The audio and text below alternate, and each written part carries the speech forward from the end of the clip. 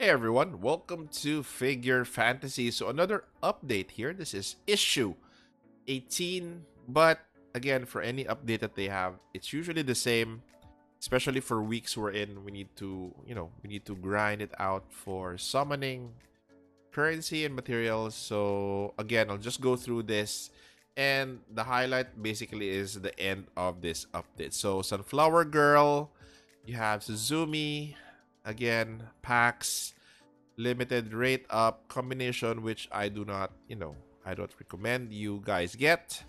But on the other hand, the other updates are another skin for Zhuge Liang, so uh, Imperial Spirit's Prayer.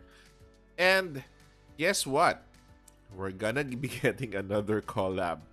Okay, there have been rumors circulating that we're gonna be having Dead or Alive or DOA uh, with Maria and Honoka um, coming to the game for this collab.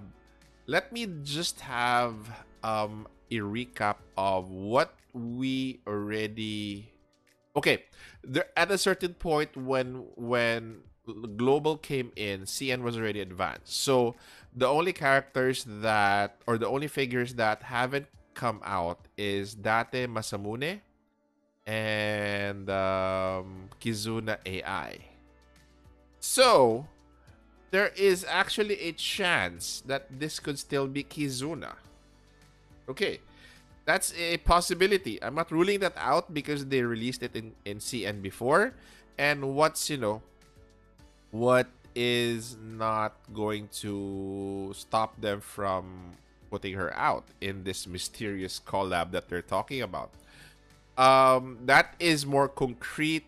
However, DOA also makes sense because because okay this is more of a discussion on the collab or not so much on the update okay guys so if you have noticed even in cn they haven't had a collab yet thus far so usually from the last few collabs that i've seen from the game it's usually a simultaneous release between global and cn for collabs so kizuna ai might not be there they might be releasing DOA simultaneously with uh, CN and our server. So my best bet is also DOA, but there is still a possibility that we will have um, Kizuna AI.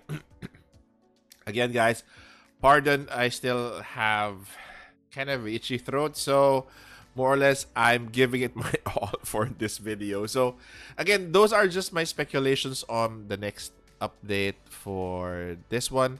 Um, not the next update, but the update after this week. This this week is going to be a teaser for the collab, and also a week for um, farming for summon currency.